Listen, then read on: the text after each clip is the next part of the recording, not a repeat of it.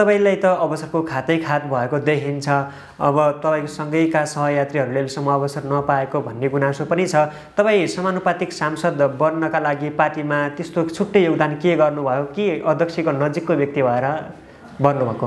तपाईँको यो टिप्पणी चाहिँ एकदमै धेरै प्रोपोगान्डा र सेलिब्रेटी हुने टिप्पणी हो। मसँगैको सहयात्रामा भएका साथीहरू या मेरो उमेर समूहको प्रतिनिधित्व गर्ने सबै साथीहरू अनि राजसिब्यूको अध्यक्ष हुने तहको मेहनत गर्नु भएन कि? अनि राजसिब्यूको अध्यक्ष हुने कुरा पनि आफैमा एउटा जिम्मेवारी हो तर यो जिम्मेवारी प्राप्त गर्ने कुरा आफैमा सहज कुरा होइन। नेपालको राजनीतिलाई बुझ्नु भएको हो भने तपाईँले त्यति बुझ्नु भएको छ भन्ने मलाई लाग्छ।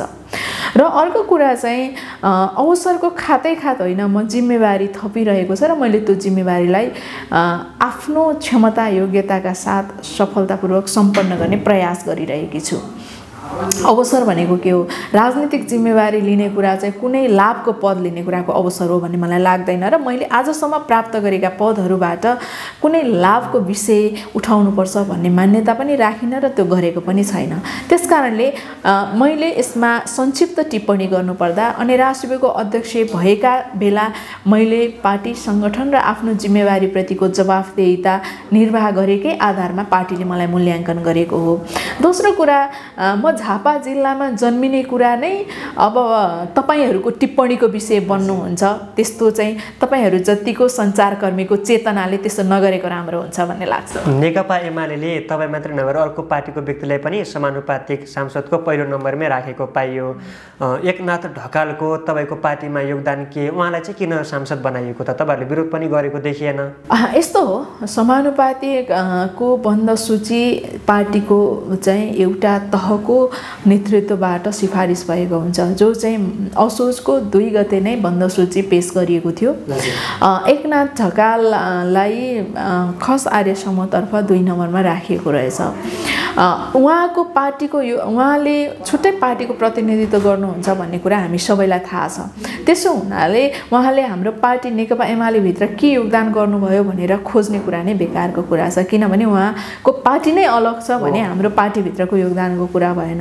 तर अहिलेको सन्दर्भमा हेर्दा उहाँको पार्टी नेपाल परिवार दल सिङ्गो नेपाल परिवार दलले नै हाम्रो पार्टीलाई प्रत्यक्षतर्फबाट पनि समानुपातिकतर्फ पनि हाम्रो पार्टी सूर्य चिन्हमा मतदान गरेको छ।